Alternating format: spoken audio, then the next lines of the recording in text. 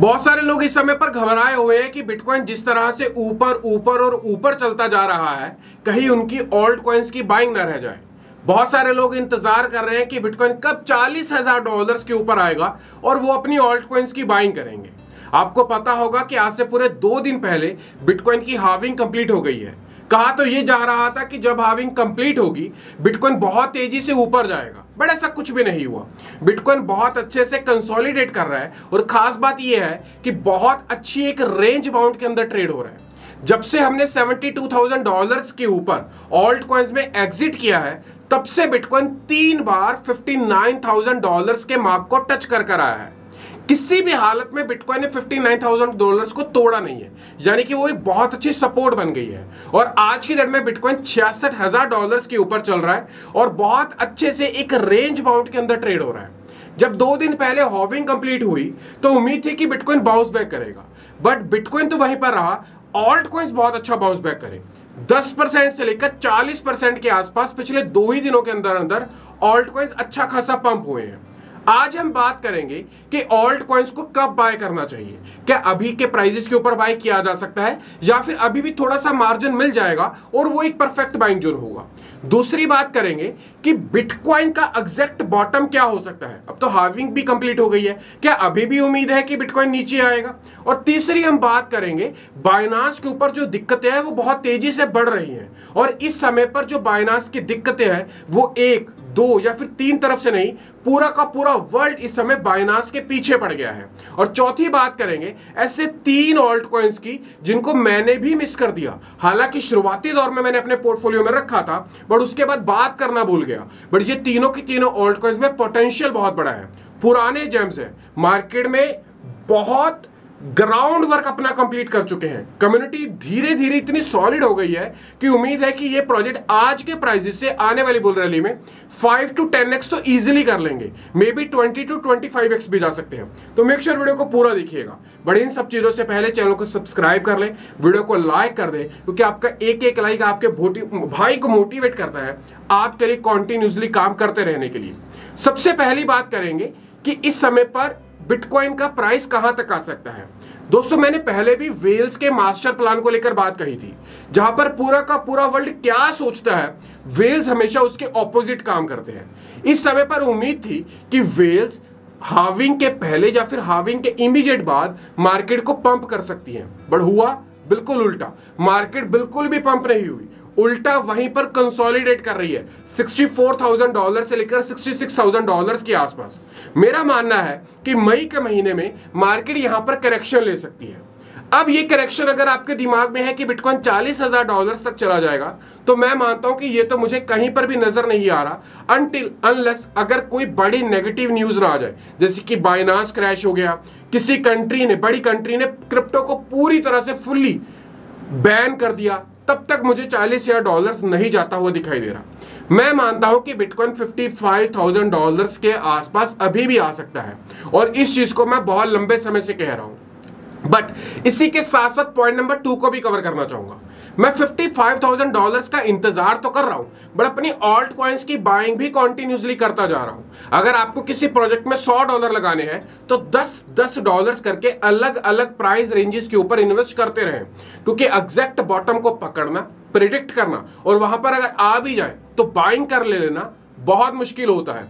इस वजह से जितने भी हमारे डार्लिंग ऑल्ट कॉइन्स हैं जिनको हमने बहुत लंबी रिसर्च दो सालों की रिसर्च के बाद कंप्लीट किया है, बनाया है। उसमें बाइंग करते रहे। अगर आपको नहीं पता वो डार्लिंग ऑल्ट कॉइन्स की लिस्ट क्या है, या फिर जानना चाहते हैं तो ये बिल्कुल फ्री है। आप डिस्क्रिप्शन में जाए, आपको टेलीग्राम का लिंक मिलेगा। क्लिक कर कर ज्वाइन करें।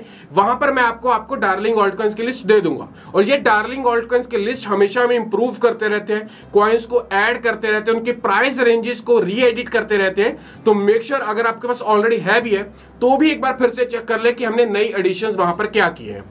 तीसरा पॉइंट जो मैं आपके साथ कवर करना चाहूँगा, वो करना चाहूँगा बाइनास के साथ। आपको पता है कि बाइनास के ऊपर जो दिक्कतें हैं, वो कॉन्टिन्यूसली बढ़ती चली जा रही हैं। जब बाइनास को पहले तो यूएस में फाइन लगा, लगभग फोर बिलियन यूएस डॉलर्स का। बाइनास को नाइजीरिया में बैन किया गया। चलो, अभी हाल ही की बात करते हैं। इंडिया में इसके एप्लीकेशन को बैन कर दिया गया और अब बाइनास के ऊपर टू मिलियन यूएस डॉलर्स का इंडिया में भी फाइन लगा है। अब न्यूज़ आ रही है कि कनाडा में बाइनास को सू किया गया है। और ये न्यूज़ अभी ठंडी भी नहीं हुई थी। अभी फिलीपींस में एस ने ऑर्डर किया है गूगल को और प्ले स्टोर को बाइनास की एप्लीकेशन उनकी कंट्री में से हटा देने के लिए। ये सारी की सारी न्यूज़ कहीं ना कहीं बाइनास को बाइनास के बिज़नेस को रेपुटेशन को और अल्टीमेटली क्रिप्टो को इफ़ेक्ट करती हैं। बायनास का क्रिप्टो में बहुत बड़ा रोल है और कहीं ना कहीं लोग बायनास के ऊपर आँख बंद करके ट्रस्ट करते हैं। अगर कल को खुदा ना खास्ता बाइनास को कोई दिक्कत आ गई तो मार्केट में जो लोग चालीस हज़ार डॉलर के आसपास का मार्क अपने दिमाग में चला रहे हैं, शायद वो टच हो सकता है। बाइनास के ऊपर दिक्कत आती है तो मार्केट एक बहुत बड़ा शेक ऑफ़ लेगी और मार्केट अच्छा खासा डिप यहाँ से ले सकती है। बट ये सारी चीज़ें एक तरफ़, अगर ऐसा कुछ भी होता है तो मैं मानता हूँ कि 10 दिन से लेकर 15 दिन मैक्सिमम होंगे और मार्केट वापस से सत्तर हज़ार डॉलर से ऊपर आ चुकी होगी। क्योंकि नेगेटिव न्यूज़ेस जिस तरह से चल रही हैं और इंपैक्ट भी कर रही हैं, वहीं पर पॉजिटिव न्यूज़ेस भी कम नहीं है। जिस तरह से यूएस में ईटीएफ का अप्रूव होना, अभी हाल ही में हांगकांग में बिटकॉइन के साथ साथ इथेरियम का ईटीएफ भी अप्रूव कर दिया। उम्मीद है यूएस में भी इथेरियम का ईटीएफ जून और जुलाई में अप्रूव हो जाए। और बहुत सारी ऐसी कंट्रीज़ हैं, जो कॉन्टिन्यूसली बिटकॉइन और इथेरियम के ईटीएफ के ऊपर काम कर रही हैं और उसे अप्रूव कर सकती हैं। जापान की तरफ़ से भी ऐसी न्यूज़ आपको जल्द ही सुनने को मिलेगी। यानी कि नेगेटिव न्यूज़ से ज़्यादा बड़ी है पॉजिटिव न्यूज़ और इन सब चीज़ों से बड़ी न्यूज़ है बिटकॉइन की कम होती हुई सप्लाई अभी हाविंग हो गई है, और बिटकॉइन का रिवॉर्ड साइज़ हो गया 3.125 के आसपास। और अगले चार सालों के बाद ये और आधी कम हो जाएगी। यानी कि आने वाले 10 सालों में एक बिटकॉइन का price one million US dollars अगर आज की रेट में बात करें तो लगभग नौ करोड़ रुपए का एक बिटकॉइन हो जाएगा। और ये चीज़ मैं नहीं, ऐसा पूरा वर्ल्ड कह रहा है, और आपके सामने होगा। इससे ये चीज़ क्लियर होती है कि अगर आप ऑल्ट कॉइन में बाइंग बनाना चाहते हैं तो अभी के प्राइजेस भी बुरे नहीं है, अगर आपका विजन लॉन्ग टर्म है। अभी के प्राइजेस भी बुरे नहीं है, अगर आप अगले दो सालों के लिए ऑल्ट कॉइन्स को ऐड होल्ड कर सकते हैं। अभी के प्राइजेस भी बुरे नहीं है, अगर आप अच्छे अच्छे alt coins darling alt coins को अपने पोर्टफोलियो में ऐड करते हैं। मैं फाइनेंशियल एडवाइजर नहीं हूँ बट ये सारे के सारे वो प्रोजेक्ट्स हैं, जो दो साल की रिसर्च करने के बाद मार्केट एक छोटी छोटी बारीकी को नोट करने के बाद बनाई गई है। मार्केट में घबराने का समय नहीं है, उल्टा बाउंस बैक करने का समय है। ऑल्ट कॉइन्स को बाय करते रहे परफेक्ट बॉटम का इंतज़ार ना करें। अब चलते हैं वो तीन ऑल्ट कॉइन्स जिनको हमने इग्नोर किया। बट उनको इग्नोर नहीं, उनको पोर्टफोलियो में ऐड करना चाहिए। हालाँकि मैंने अपने पोर्टफोलियो में उनकी बाइंग ऑलरेडी कर रखी है, बट अब मैं उनकी बाइंग और ज़्यादा बढ़ाऊँगा। एक प्रोजेक्ट तो ऐसा है जो अभी हाल ही में लॉन्च हुआ है। कोई भी व्यक्ति उसको लेकर बात ही नहीं कर रहा, और उस प्रोजेक्ट का नाम है Omni Omni Binance launch pad का प्रोजेक्ट है। बाईस, तेईस, चौबीस डॉलर के अंदर पिछले दो तीन दिनों के अंदर अंदर ट्रेड हो रहा है। खास बात यह है कि इसकी जो प्रोजेक्ट की जो सप्लाई है, वो केवल हंड्रेड मिलियन टोकन ही है। बहुत कम सप्लाई है as comparison to other crypto market जहाँ पर जो सॉलिड प्रोजेक्ट से रहते हैं, उनकी सप्लाई वन बिलियन से तो ऊपर ही रहती है।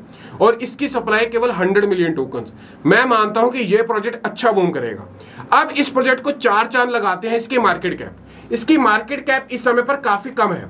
अगर मैं बताऊँ तो इसकी मार्केट कैप है इस समय पर 252 मिलियन यूएस डॉलर्स बहुत कम मार्केट कैप है। मेरा मानना है कि अगर ये प्रोजेक्ट दो से लेकर तीन बिलियन यूएस डॉलर्स की मार्केट कैप के आसपास जाता है तो इसका प्राइस प्रिडिक्ट कर पाना और वापस उसको वहाँ पर बाय कर पाना नेक्स्ट टू इम्पॉसिबल हो जाएगा, क्योंकि 400 डॉलर से लेकर 700 डॉलर्स के बीच में कुछ आर्टिकल्स के मुताबिक इसका प्राइस आंका जा रहा है आने वाली बुल रैली में। ओमनी प्रोजेक्ट एक सुपर सॉलिड प्रोजेक्ट है रोल अप ट्रांजेक्शन को एक ही प्लेटफॉर्म के ऊपर कंबाइन करता है जितने भी रोल अप प्लेटफॉर्म्स हैं, उनको अपने एक प्लेटफॉर्म के ऊपर कंबाइन करता है और जितनी भी चेंज है, उनको भी कंबाइन करता है। रोल अप बाइनास लॉन्च बैठ का प्रोजेक्ट है तो इसकी जो पॉपुलैरिटी है आप कह सकते हैं कि इसका जो टीम है, वो काफ़ी नेक्स्ट लेवल के ऊपर बूस्ट होता है। तो ये प्रोजेक्ट हमारी लिस्ट में होना चाहिए। अगला प्रोजेक्ट जो काफ़ी लोगों ने मिस किया बट हमने ओपी आर्बिट्रम के साथ इसको भी ऐड किया था, वो था एप्टॉस जितने लोग भी हमारे साथ है, दो डॉलर्स के अंदर हमने दबाकर बाय किया है, अठारह डॉलर के ऊपर एग्जिट किया था, वापस से तीन पॉइंट दो थ्री पॉइंट टू डॉलर के आसपास हमने बाइंग की थी और आज दस डॉलर के आसपास चल रहा है। एप्टॉस बेसिकली एक लेयर वन प्रोजेक्ट है, खुद की चेन है और इसकी चेन के ऊपर आप dapps NFTs entertainment projects आप कह सकते हैं कि gaming people DeFi social scalability को लेकर ये चेन अब तक की सुपर सॉलिड चेन है। जितनी भी लेयर वन चेन्स हैं, उनमें से अगर सबसे बेहतरीन चेन इस समय पर काम कर रही है, वो एप्टॉस है। अगर एप्टोस की मार्केट कैप की बात करें तो वो 4.2 बिलियन यूएस डॉलर्स का है। बट आई डू बिलीव कि इसका प्राइस आने वाली बुल रैली में डेढ़ सौ डॉलर से ऊपर जा सकता है। कुछ लोग, और इंक्लूडिंग मी मैं इसको सुलाना के बराबर का प्रोजेक्ट मानता हूँ। और अगर मुझे सुलाना और एप्टोस में से किसी को चूज़ करना पड़े तो मेरी पहली चॉइस एप्टोस होगी। एप्टोस की जो चेन की स्केलेबिलिटी है as comparison to other chains वो बहुत ज़्यादा है। एप्टोस को इग्नोर मत करिएगा। लॉन्ग टर्म पोर्टफोलियो के लिए भी, दो सालों के पोर्टफोलियो के लिए भी, और शॉर्ट टर्म के लिए भी एप्टोस एक बेहतरीन प्रोजेक्ट यहाँ पर साबित होने वाला है। And the third and the most आप कह सकते हैं कि कॉन्ट्रोवर्शियल प्रोजेक्ट इथेरियम क्लासिक अभी का प्राइस सत्ताईस डॉलर चल रहा है। हमने 12, 13, 14 डॉलर्स के आसपास कम्युलेट किया।